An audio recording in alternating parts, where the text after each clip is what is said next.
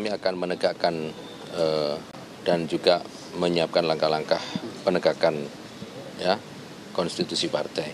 Tadi kan ditegaskan dengan menggunakan uh, seragam dari P3 sendiri dan juga sudah uh, koordinasi dengan pengurus P3.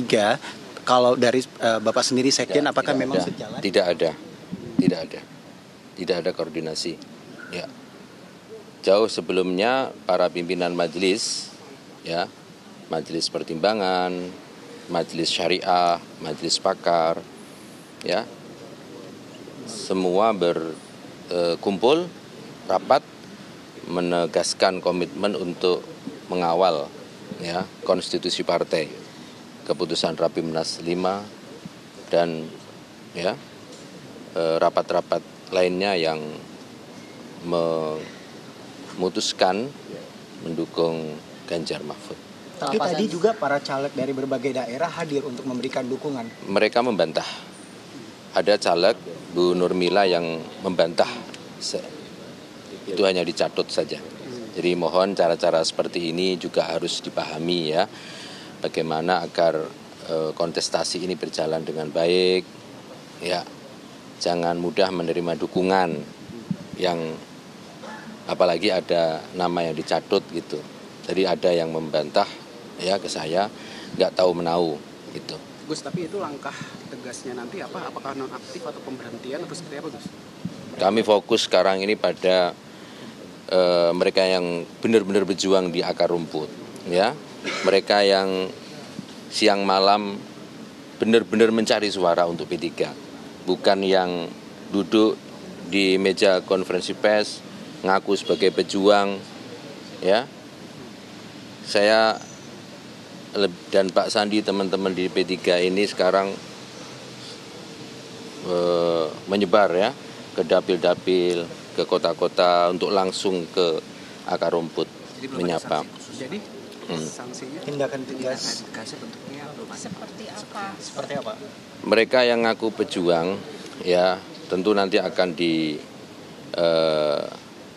oleh masyarakat. Kalau kami organisasi partai tentu tadi saya katakan akan melakukan langkah-langkah penegakan konstitusi partai. Ya langsung saja saya akan sapa di sini narasumber saya lewat sambungan Zoom, Zoom Sekjen P3, Bang Arwani Tomafi. Selamat malam, Assalamualaikum. Waalaikumsalam, selamat malam Mbak Bang. Caca. Boleh langsung ditanggapi saja. Ini kok bisa tiba-tiba sejumlah kader P3, bahkan katanya ada caleg juga yang memberikan dukungan terhadap Prabowo Gibran. Ini nggak bisa dicegah atau bagaimana oleh pusat? Ini kan setengah jalan loh pemilu seperti apa? Ya, jadi dinamika yang terjadi di Pilpres kali ini ya, beberapa partai tentu mengalami dinamika ini. Terhadap dinamika tentu kami akan eh, melakukan langkah-langkah tegas gitu. Eh, ten- kami tidak melihat atau tidak eh, terlalu jauh berpikir ya. Begitu ada langkah-langkah eh, aparat partai yang melakukan pelanggaran berat, tentu kami akan lakukan eh, penegakan konstitusi. Jadi yang saya maksud dinamika partai itu ya eh, sekarang ini terjadi ya beberapa kader partai bahkan kader partai senior seperti Pak JK di Golkar yang mendukung 01 misalnya atau juga eh, saya tidak harus sebut semuanya gitu. Yang terpenting adalah bagaimana kami nanti mendisiplinkan ya aparat partai yang melakukan eh, langkah-langkah ya yang merugikan partai kira-kira begitu. Oke, Bang Arwani, tolong ditanggapi dong. Di sini Mas Habib mengatakan bahwa bukan dari Gerindra atau mungkin dari TKN Prabowo Gibran yang melobi-lobi untuk mengajak masuk memberikan dukungan, tapi sukarela dari kader P3 sendiri. Ah, gimana tanggapannya? Saya nggak terlalu tertarik untuk menelusuri itu ya. Yang terpenting bagi kami adalah bagaimana mana komitmen para pimpinan partai yang sudah seharusnya saat ini turun ke akar rumput ya mencari suara eh, bersama-sama dengan para caleg seluruh kader bersatu padu menjaga kekompakan soliditas untuk membesarkan partai ini gitu loh. Oke. Tetapi justru melakukan langkah-langkah yang seperti itu.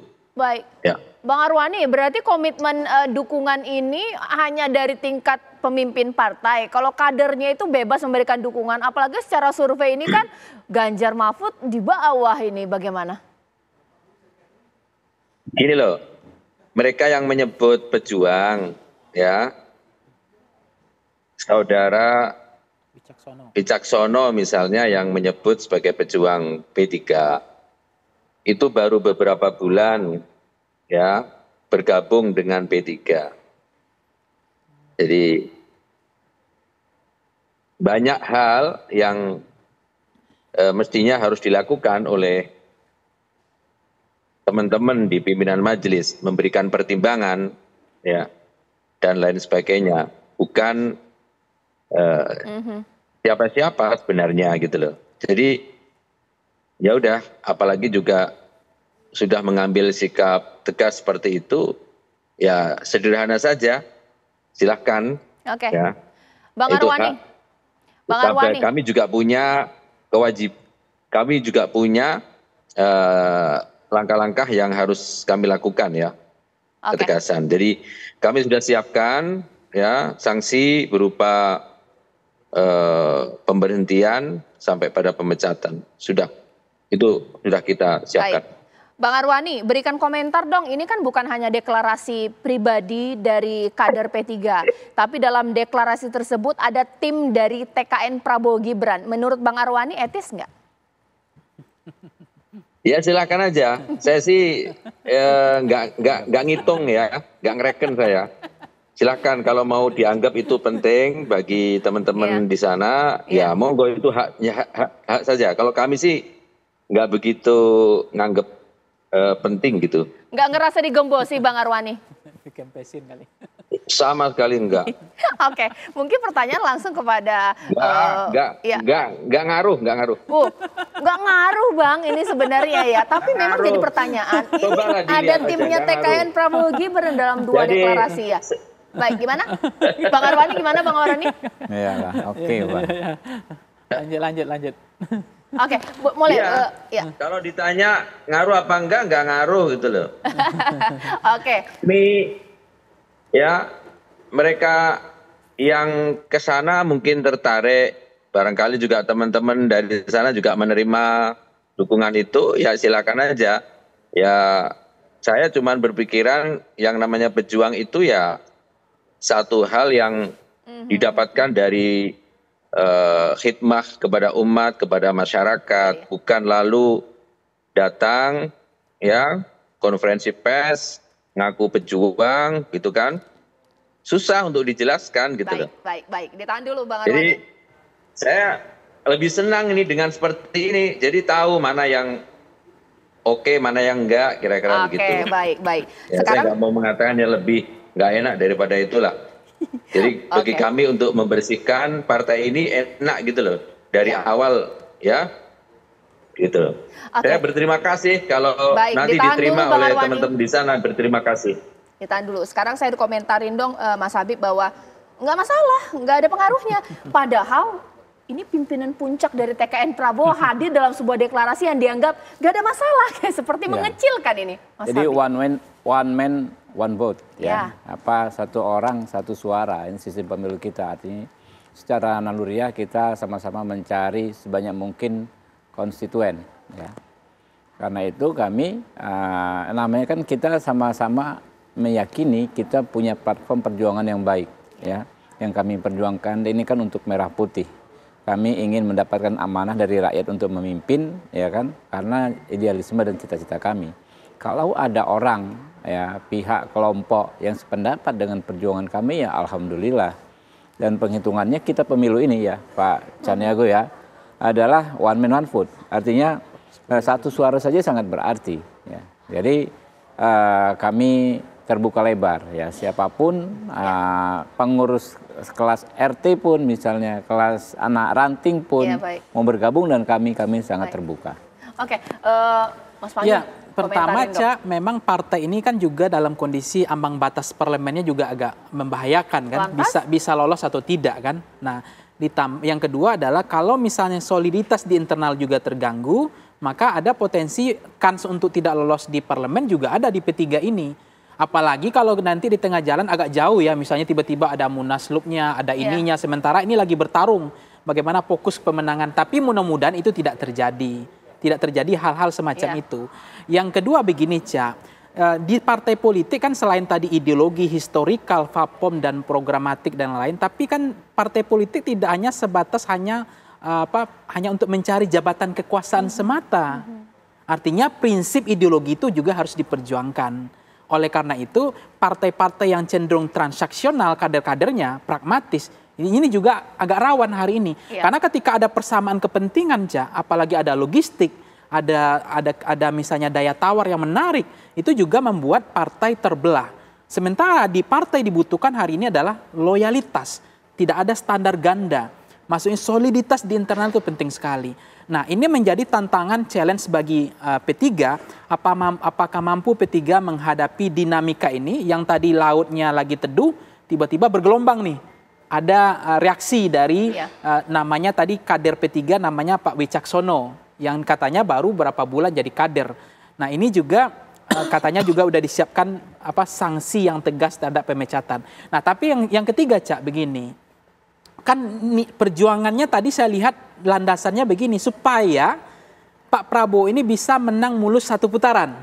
Karena katanya tinggal 7% lagi atau 6% lagi. Nah, dengan adanya pejuang P3 itu diharapkan membantu perjuangan untuk meloloskan Pak Prabowo bisa menang satu putaran. Itu agenda misinya. Terlepas yang saya katakan tadi, agenda ideologi, agenda kemudian uh, apa namanya programatik dan agenda yang ketiga adalah rent seeking atau official seeking, Ya. bagaimana kader mencari jabatan kekuasaan itu juga ada. Tapi mudah-mudahan nggak seperti itu. Baik. Jadi kita mencermati uh, kalau nggak dikelola dengan baik, tidak di maintenance, katanya tadi udah disiapkan sanksi pemecatan atau pemberhentian. Kalau tidak ada pemadam kebakarannya, justru P3-nya yang dirugikan. Oke. Dan sebetulnya yang angin segar bagi tim Pak Prabowo tentu angin segar ya. Ini juga kami tidak membuat, ini Ya. hanya dukungan yang kami tidak bisa juga menolak dukungan Baik. ini gitu kan. Apakah ini alamiah, apakah by setting, apakah desain? Tapi Oke. kok saya nggak yakin dalam Baik, politik baik. itu Ya. semuanya ilmiah, Cak. Oke. Pasti ada operatornya Ya, gitu. nanti Mas Habib tanggapi ya apakah ini memang strategi dari Prabowo Gibran dari TKN sendiri agar supaya menang satu putaran jadi kurang sedikit lagi ini persen. Padahal tidak kurang dukungan dari tokoh Islam kultural yang ada di kubu TKN Prabowo dan belum terjawab. Mas Arwani, apa jangan-jangan ini strategi dari P3 saja? Kalaulah Ganjar menang atau Prabowo menang, tetap mereka berada dalam pemerintahan pemirsa politik dua kaki. Sesaat lagi.